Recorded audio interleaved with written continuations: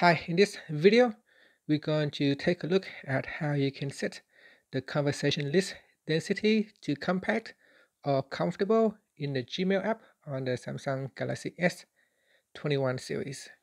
First, tap on the home key to take you back to the home screen. On the home screen, tap on the Google folder, or in the app screen, tap on the Google folder and tap on Gmail. Once you are in the inbox, tap on the menu key at the top. From the pop-up menu, tap on Settings. In Settings, tap on General Settings, and then go down and tap on Conversation List Density.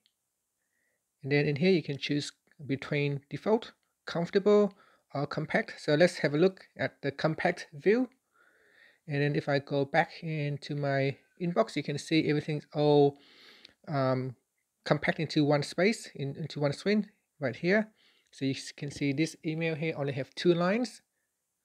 So if I go into settings and then choose comfortable and tap on OK, and I go back in here, you can see my e emails are now more spread out. Uh, there are more lines now. There are one additional line in the in the list right here. So you got the subject, and then you got two more lines down below, and that is the density that's how you can change it. Now if I go in here and choose the default and you can see this is the default view. And there it is that's the default view uh, in Gmail. And that's it. Finally you can tap on the home key to return to your home screen.